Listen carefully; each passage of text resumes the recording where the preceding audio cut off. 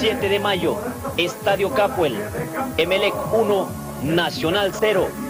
Ángel El Cuchillo Fernández.